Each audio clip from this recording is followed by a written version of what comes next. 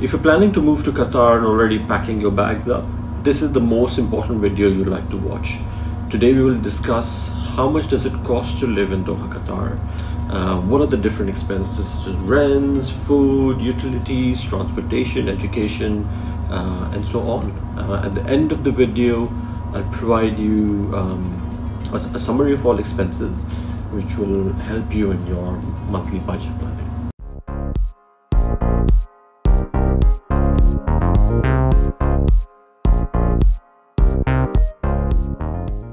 Is one of the most exciting places to live in the Middle East.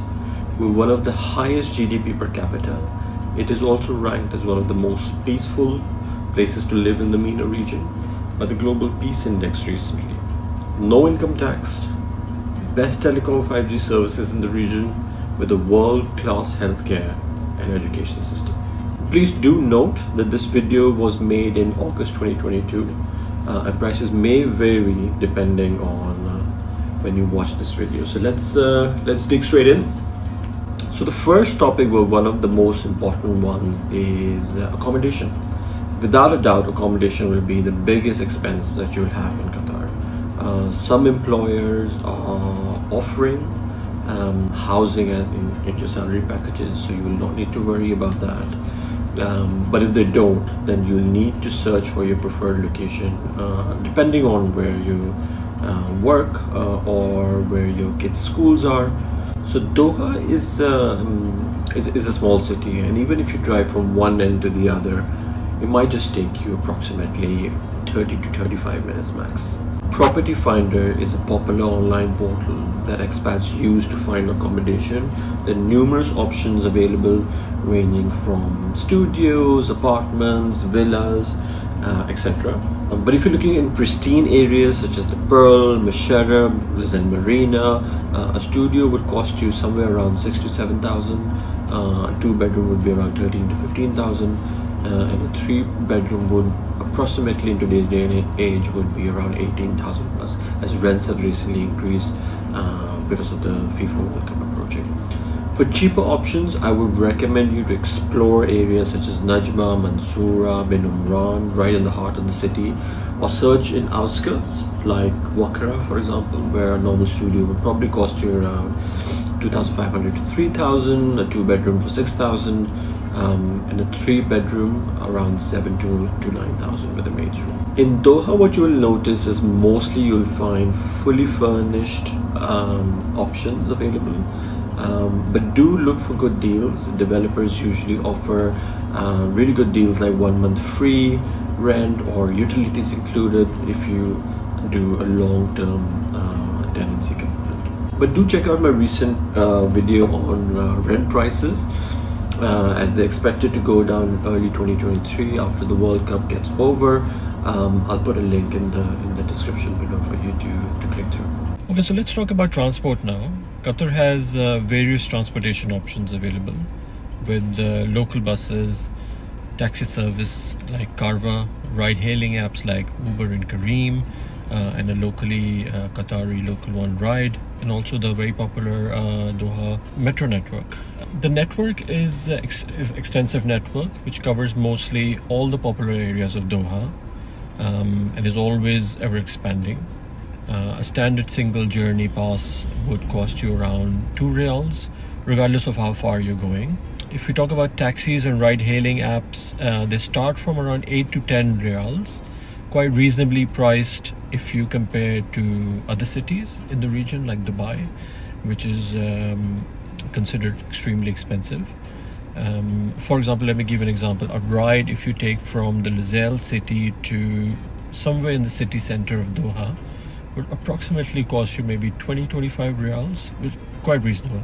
Obviously depending on on the location how far you go this could this could vary.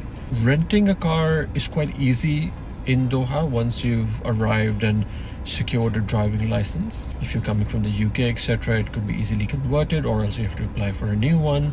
Uh, a normal sedan if you were to rent probably would cost you around something between 1000 1300 400 depending on how long you go uh, the take take the contract for so if you're taking a contract for like for example 1000 uh, for six months it could probably cost you just 1000 fuel prices are quite low compared to other parts of the world. If you rent a normal sedan and drive it for a month, like back and forth to your office or work or dropping kids to school, probably would be around five, six hundred riyals a month. Okay, so let's look into utilities. Qatar has one electricity and water provider called Kahramaa. For gas, most areas use cylinders and residential LPG provided by a company called WOQOD. Um, you can easily purchase them for your nearest supermarket or petrol station. Um, and Vodafone are the two primary telco providers in Qatar. Um, both providers have excellent prepaid and postpaid plans available to customers. Um, they also have internet connections uh, with various benefits, such as the inclusion of uh, landline services. So for mobile, um, obviously depending on your usage, uh, monthly charges would be around 80 to 100 riyals a month. Uh, for home internet, including your, your TV connection, uh, starting package of 20 Mbps could cost you around 300 to 350 riyals. Now on to uh, exciting bits such as entertainment. There are numerous things to do in Doha. With FIFA approaching, there are numerous theme parks, hotels, and entertainment areas opening up for families to enjoy. Uh, there are a few things to do in Doha. Some are free to do, while some activities will be paid. It all depends on the type of activity that you'll be taking upon. Um, but many of the theme parks would be ranging between average 200 to 250 per person.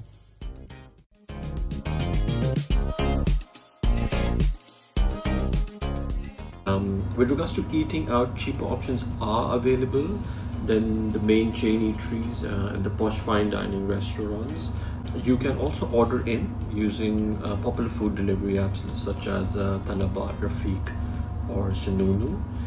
Uh, I would say a meal in a fast food restaurant would probably cost you around 13 to 15 riyals, while high-end restaurants can go up to even 80 to 100 riyals per person. Yeah, so there, there are cheaper options available. Uh, if you you know walk around the streets of Doha, you'll find restaurants offering you meals for as low as 10 to 15 riyals but they're not really in, a, in inside malls they're they're along the streets of, of, of Doha. probably the most interesting part for women groceries um, there are many supermarkets in Qatar where you can find uh, local and imported food products uh, some markets are even catering to specific nationalities when purchasing uh, groceries from supermarkets. Um, please note that there would be locally sourced products available which are cheaper.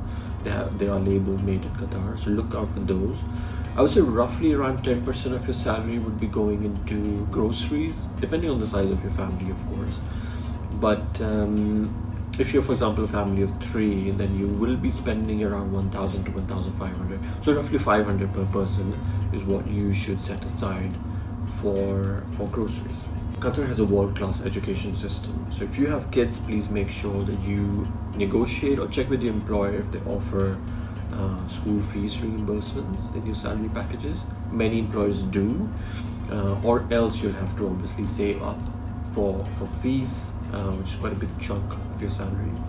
There are specific schools for different nationalities, uh, and there are obviously the private international schools However, the prices of these international schools are higher and may vary depending on the grade that your, your kid is joining in.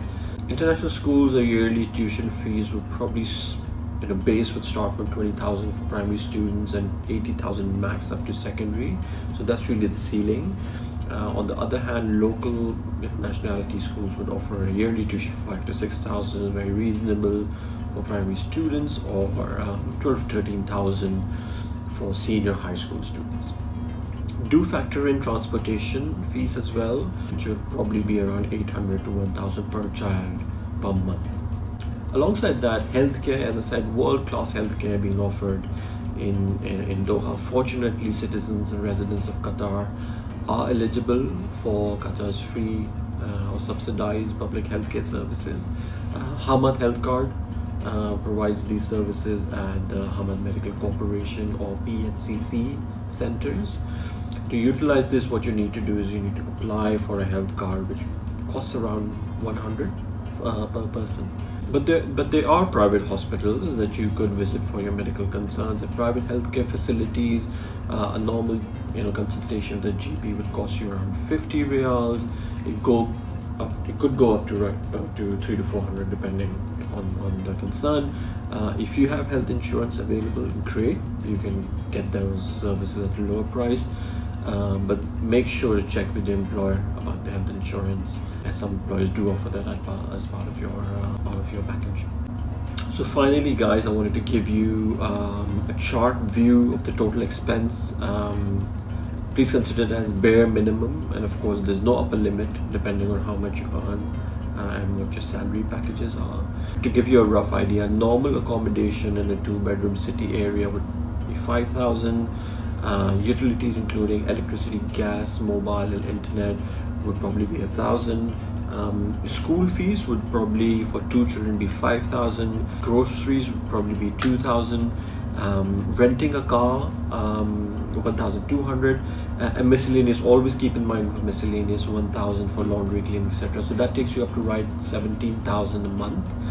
So something i wanted to mention to you that if you're planning to bring in your family make sure that your salary is 10000 or equivalent to 10,000 with this with the accommodation offered. So please check immigration policies before you, you sponsor. And that's it, guys. All you know, I would like to say, although living in Qatar is cheaper than many several Western countries, your overall living expenses really depends on your lifestyle. You know, uh, when when calculating this, make sure that you factor in all your shopping habits, your miscellaneous expenditures, extracurricular activities, your hobbies.